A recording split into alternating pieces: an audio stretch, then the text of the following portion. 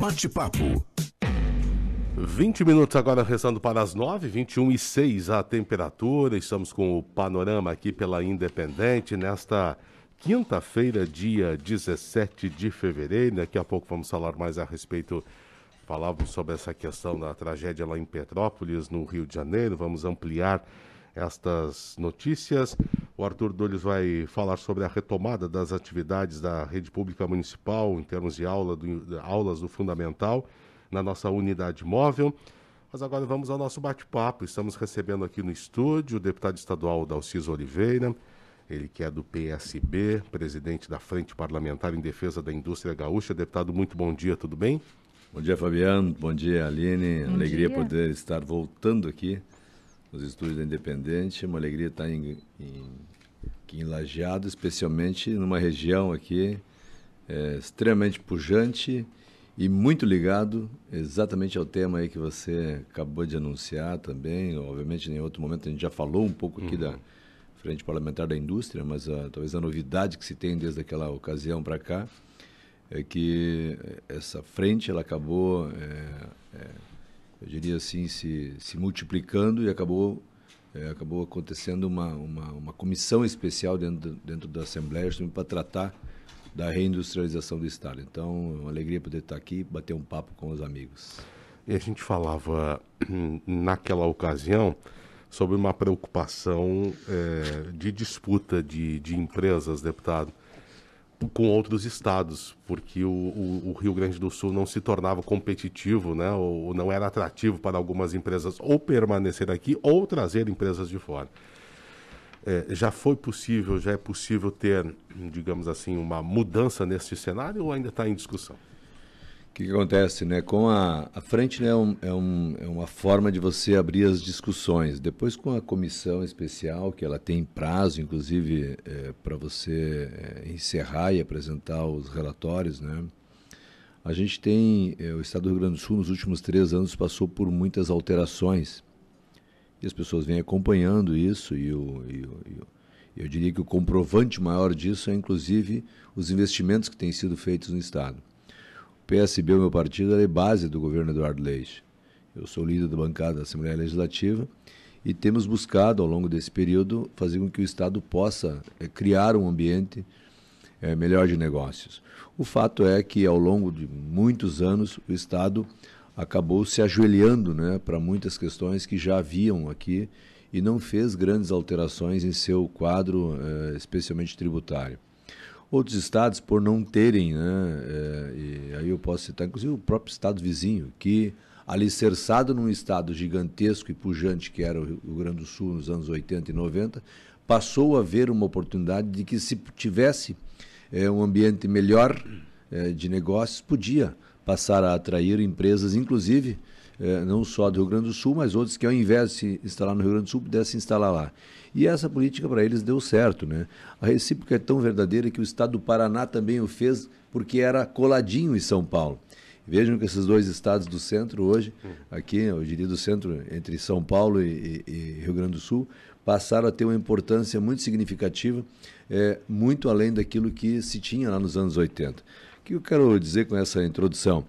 Aquilo que nós fizemos, né, dentro dos aportes daquilo que foi o encurtamento, os enxugamentos que fizemos no Estado, é, aprovações de, mesmo que medidas amargas que a gente tenha feito aqui, com, é, mexemos nos planos de carreira, reorganizamos a questão é, do, do, do, do, pacto social que nós tínhamos aqui, a questão do meio, do, do, do, é, do meio ambiente, né, que nós tínhamos aqui o, o, o, código de meio ambiente, nós acabamos alterando que também era uma, era uma dificuldade.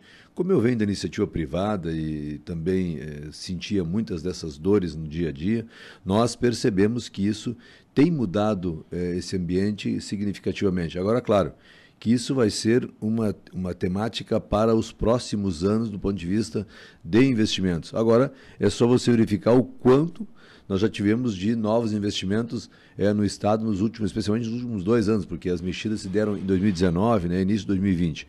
Mas isso tem contribuído muito. Agora, mais recentemente, ainda em 2000, 2020, 2021, nós aprovamos na Assembleia também as grandes mudanças do Fundopem, criando o Fundopem Express, né, para as empresas de até 300 milhões, diminuindo significativamente o tempo é, para que pudesse ser analisado e incrementada a documentação para que a empresa tivesse acesso a essas, a essas, é, é a esse modelo, né, de, uhum. de, de, de é, de compromisso do Estado.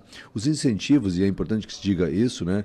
a comissão tem feito as audiências públicas. Nessa segunda-feira a gente fez é, na região Planalto, Serra. É, é, a Fiergs tem 10 regiões. Né? E aí, a, a, mesmo que a cidade de Passo Fundo esteja talvez na região da produção, mas para as questões da Fiergs, ela está ligada à região Planalto. Uhum.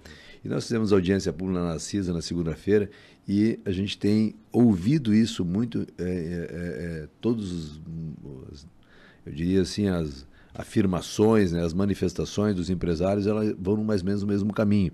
Nós temos alguns eixos que são assim cernes nessa discussão, né?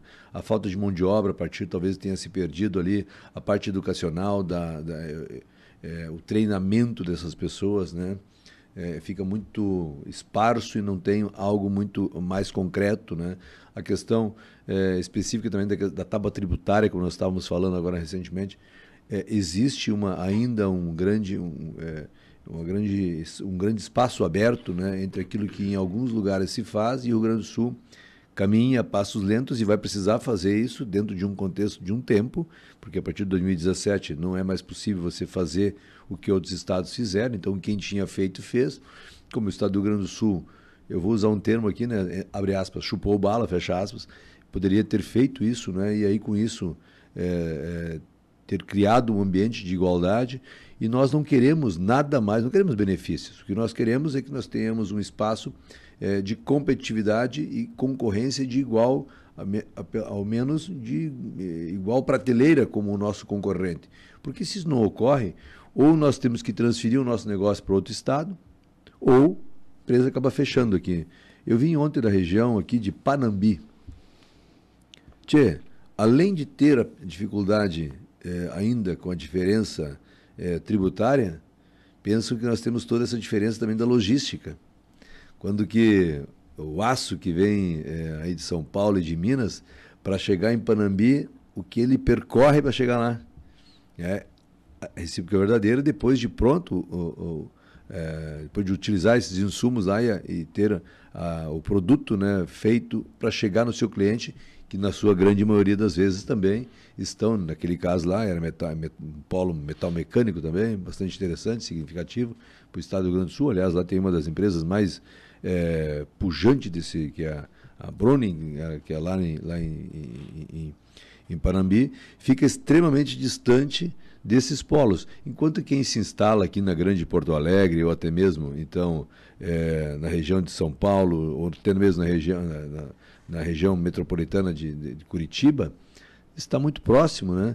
Então nós temos, não é só a questão tributária, nós temos as questões de logística e ainda temos estradas que não é, condizem com isso. Né? Vejam vocês que algumas das estradas, é, algumas RS, não permitem, por exemplo, é, a, a, logística, né? O, o, transporte com o caminhão duplo, né? o caminhão é, é, é, com, que cabe mais de 30 toneladas. Né? Pela questão de, de, de segurança, segundo o, o, o Detran. E isso também dificulta, porque o mesmo caminhão, o mesmo motorista, a mesma o custo para levar é, 15, 20 toneladas seria é, mais ou menos o mesmo com essa, com, essa, com essa questão da logística, se nós tivéssemos a oportunidade de aumentar essa carga.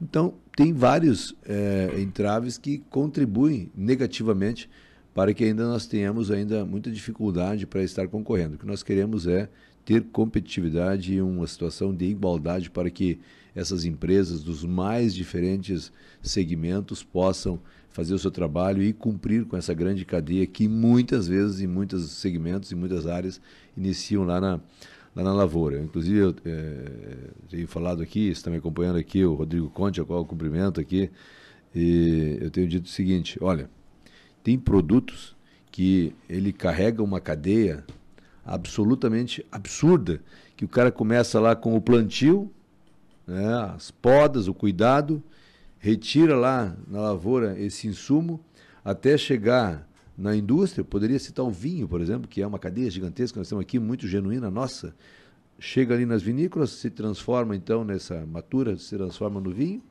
até chegar lá na prateleira e a mesa do consumidor final. Vejam o que ele percorre essa cadeia e o que isso significa para a geração de renda e emprego, né, e o que isso significa para desenvolvimento de um Estado. Né? E não é só o vinho. Aqui eu falei de um produto para que as pessoas possam se conectar com aquilo que a gente está falando, o que, que é um, uma, uma indústria que inicia lá na lavoura e encerra lá na prateleira é, no consumidor final. Então, o Estado do Rio Grande do Sul tem cadeias desse, desse molde, nós perdemos muitos, é, muitas áreas interessantes, perdemos muitas empresas, mas sempre há tempo e o Estado vem mostrando aí, né, os investimentos têm a prova disso, de que ainda se tem aqui é, muitos empreendedores e muitas pessoas que é, entendem que esse Estado aqui pode sim é, produzir muito e, obviamente, desenvolver muito o nosso país.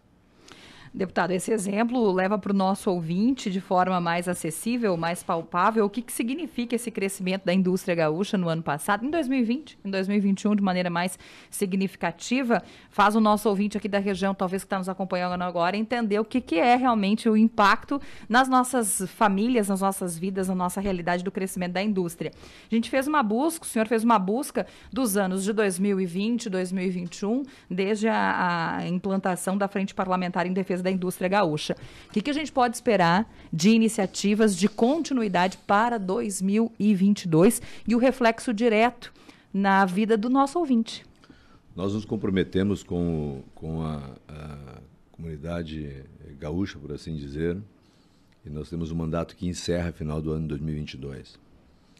Mas é, houve um, é, e por isso que foi criado a Comissão Especial da Indústria, houve um movimento do governo quando a gente passou a fazer as audiências públicas, e as, as audiências públicas produzidas, elas estão sendo feitas por dentro da Fiergs, né? Uhum.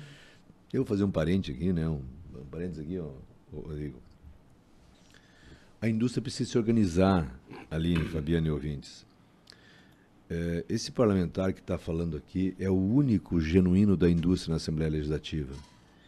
Isso mostra é, a dificuldade que é, nós temos da representatividade. Eu respeito todos os pensamentos, né? Eu sou um cara da democracia. Mas se aí as pessoas reclamam e veem, olham para o, para o agro, por exemplo, que tem mais de 20, né, que são genuínos, que são ali do, do negócio, bom, nós também temos que nos organizar. O que o governo assinou para nós é o seguinte: olha, o trabalho da frente tem sido exemplar e a montagem a gente organizou com técnicos, né? E como a Fiergs abraçou por ser genuíno, é, achamos por bem ter uma comissão e o governo disse o seguinte: não, se tivermos uma comissão que possa aprovar um relatório dentro do plenário da Assembleia, e daí só a comissão tem esta força né, de poder fazer o estudo e apresentar um relatório final. Ao apresentar o relatório final, e nós temos prazo, então é até meados de, de, de abril próximo, nós apresentaremos esse, esse, esse, esse relatório e o governo vai utilizar, através da Secretaria de Desenvolvimento Econômico, o colega deputado Edson Brum, que está hoje à frente da Secretaria de Desenvolvimento Econômico, deve utilizar o relatório para a implementação da reindustrialização, da política de reindustrialização do Estado do Rio Grande do Sul. E isso também é importante dizer o seguinte, ó, nós não temos que criar políticas de governo. É, a gente pode dizer o seguinte, olha, esse governo pode contribuir nessa, nesse formato, mas as políticas para a indústria precisam ser de Estado. Por quê? Porque justamente fica a longo tempo. Nenhuma indústria se instala para ficar um, dois, três anos.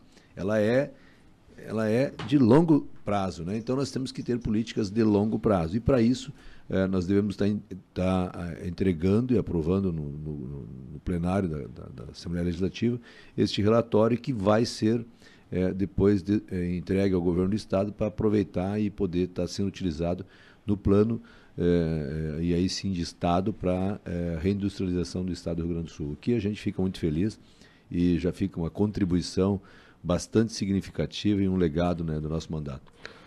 Estamos conversando com o deputado estadual Dalciso Oliveira. Deputado, o senhor está trazendo uma. destinando uma emenda de 100 mil reais para o Hospital Bruno Bora, aqui de Lajeado. Os investimentos na área da saúde né, foram intensos continuam neste período de pandemia, de pós-pandemia, sempre necessário e os hospitais especialmente precisam da ajuda. Exatamente. Eu, ao longo desse período pandêmico, é, a gente tudo isso que nós falamos aqui não há não há significado uhum. se nós não tivermos saúde, nós não tivermos é, firmes e fortes, né? Certamente eu, os amigos aqui do estúdio, você que está nos ouvindo, conhece alguém ou teve um familiar, um amigo que por vezes teve é, os seus momentos é, de saúde muito é, difíceis nos últimos dois anos, ou talvez até tenha perdido um ente, né? E isso é, nos faz refletir o seguinte: ó, se nós temos direito e temos é, a partir de 2019, a partir do acordo que fizemos com o governo, nós estreamos isso nessa, nessa, nessa gestão de poder apresentar as emendas impositivas, nós temos buscado, e já fizemos isso no primeiro, na primeira oportunidade, em 2020, em 2021 novamente, de fazer 100% de nossas emendas alocadas para a saúde, para buscar cuidar da saúde dos nossos gaúchos e gaúchas. Então, a cidade de, de, de Lajeado, através do Hospital HBB, e aí um pedido especial aqui do nosso vereador eh, Rodrigo Conte, que está aqui conosco, né, acabou assumindo a Câmara é, por um bom período aí ao longo de 2021, nós entendemos que era assim importante colocar aqui, afinal de contas, eu, o Hospital HBB foi extremamente é, é, importante, aliás, a cidade de Lajeado foi é, um marco né, para o atendimento ao Covid. Né? Então, isso nós temos que olhar quem também o faz pela população, né, não só da cidade, mas da região. E a gente tem essas, essas referências no estado do Rio Grande do Sul e que bom que Lajeado tem cuidado dos seus aqui. Nós podemos ter a oportunidade aqui de estar contribuindo para uma emenda que vem aí para poder é, é, contribuir na, na, na, na manutenção do, do, do, hospital, os pagamentos é, dos, seus, dos seus funcionários, enfim, aquisições de algum outro equipamento que possa contribuir aí para melhorar ainda mais a vida e deixar mais confortável a vida das pessoas que tanto precisam num momento como esse. Deputado, hoje visitando a região daqui, parte para Porto Alegre, tem outra agenda? É, nós estávamos em roteiro, né? Nós estávamos partimos de segunda-feira, então com audiência pública em Passo Fundo, aí você aproveita porque não dá para você fazer uma viagem assim, você não não tiver. Aí você vai entregando também as emendas, né? Nós fomos até a região de, de Panambi, passando pela região ali de, de Palmeiras, é, é, Cristal do Sul, é, Três Palmeiras, né? enfim, fomos, fizemos uma volta bastante, bastante interessante. Agora estamos é, aqui em Lajeado, hoje ao meio-dia preciso já estar em Porto Alegre, é, até porque é, a vida é assim, então a gente fica, acaba ficando quatro, cinco dias fora, aí a família sofre um pouco com isso, mas faz parte do nosso trabalho. Sempre dito o seguinte, né?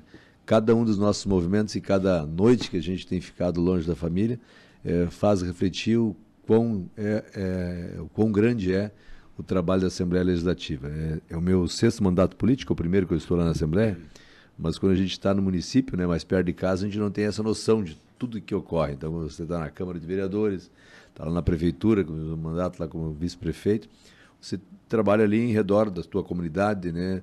Aí você às vezes fica chateado que você tem que ir no outro bairro. Bom, agora não tem que fazer, você faz 6, 7 mil quilômetros num mês, né? E aí acaba ficando fora muito tempo. Mas é, certamente também é para poder fazer a construção do Estado e contribuir significativo, significativamente para é, que a população possa melhorar a sua vida e possa contribuir com o desenvolvimento das cidades e das regiões. Deputado, estamos sempre à disposição aqui na emissora. Muito obrigado pela tua presença. Um ótimo dia e bom trabalho. Muito obrigado, Fabiano. Muito obrigado, Aline. Obrigado aqui ao Rodrigo, que tem buscado é, fazer o diálogo aqui com a Independente e também com a a sociedade aqui. É uma alegria sempre estar aqui em Lajado e mais uma vez aqui parabenizar a comunidade, aqui a sociedade local, pela pujança e pela significativa contribuição que tem dado para o desenvolvimento do Estado do Rio Grande do Sul, aqui com uma população que realmente é, sabe o que faz, é, tem uma vocação assim que não encontram em qualquer região. Então me sinto absolutamente muito à vontade quando estou aqui em, em Lajada, porque vem de uma região, a região do Vale do Paranhana, ali que é uma região também muito pujante do ponto de vista industrial. Então eu quero aqui deixar a minha tenho aqui a minha a minha alegria, né? Tenho aqui a, o meu reconhecimento a essa sociedade. Forte abraço. Muito obrigado. Conversamos com o deputado Dalciso Oliveira, deputado estadual, ele que é do PSB.